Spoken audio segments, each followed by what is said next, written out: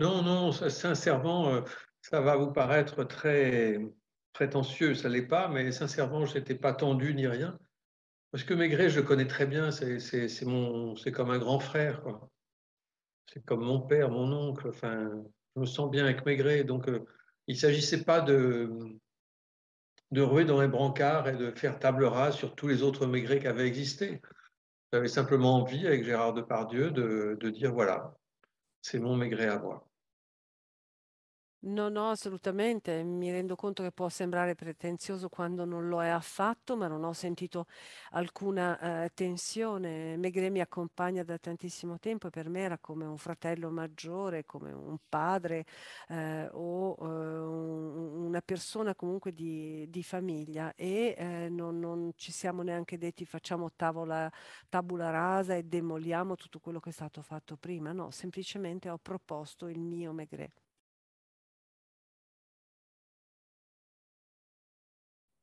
Euh, il y a très longtemps, quand on commençait vaguement à imaginer ce film, euh, on avait pensé, euh, je pense que c'était une bêtise, mais bon, on avait pensé à Daniel Auteuil, parce que Daniel Auteuil est devenu un peu volumineux, et, et puis je le connais bien, on est très amis, mais je pense que ce n'était pas une bonne idée, et donc très vite, Depardieu s'est imposé, parce que et quand aujourd'hui, quand, quand on voit le film, on dit mais qui d'autre que Depardieu Effectivement, personne.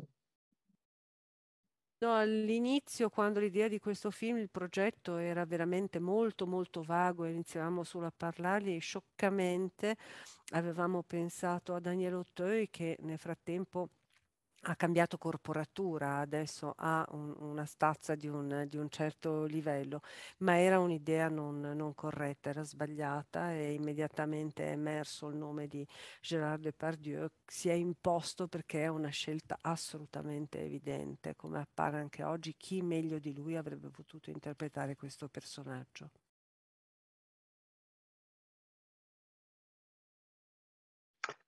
Euh, Je pense qu'il est, moderne, ou en tout cas intemporel, parce qu'il est humain.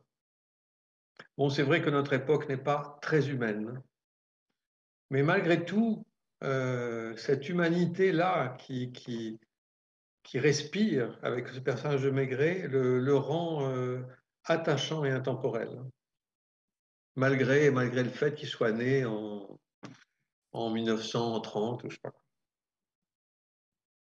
In realtà forse più che eh, definirlo moderno lo definirei eh, atemporale eh, e lo è per, per l'umanità di cui è dotato, anche se è vero che nel nostro, nella, nei nostri tempi, nella nostra epoca, l'umanità scarseggia un po', però è proprio questo tratto umano di Maigret che lo rendono eh, senza tempo, malgrado appunto il fatto che sia quasi centenario, che sia nato nel 29 o 30.